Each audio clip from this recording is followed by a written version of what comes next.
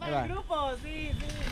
No para el ¿Qué hay mi gente? Pues hoy no teníamos nada planeado de videos, pero miren, aquí con un grupo de amigos ciclistas nos vinimos hasta el Moral.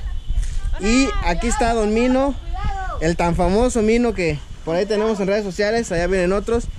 Y pues, ¿qué creen?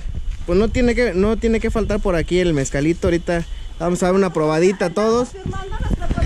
Si ustedes, si ustedes no han probado este mezcal, vénganse hasta acá. Ahorita les voy a dejar un mapita más o menos de ubicación aquí en la página para que sepan dónde está. Lo acaban de hacer hace poquito y seguido están sacando. Vale la pena, este es mezcal del bueno, véanlo nada más. Y el lugar aquí, pues todavía mucho mejor. Esta es su casa. Y si vienen más temprano, pues alcanzan pajarete. Así que aquí está Don Mino. ¿Qué les manda decir Don Mino? Un saludo, un saludo para toda, para toda la bonita familia mexicana y del mundo entero. Eh, eh, eh, a todos los ciclistas porque son los más traviesos. Porque me golpean las piedras ahí por el camino. ¿verdad? un, Así- un saludo a todos.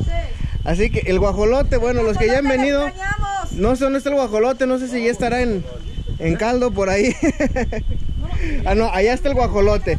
Ahí les va un pedacito de video del guajolote antes de irnos. Déjenles platico qué onda con este guajolote. Ese que está ahí, cada que llega gente se le deja ir. Ahí donde está es más bravo que el perro que tienen aquí.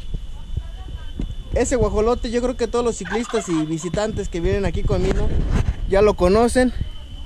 Pero pues no, no hace nada, ya está encerradito ahí, ya lo extrañábamos un poco.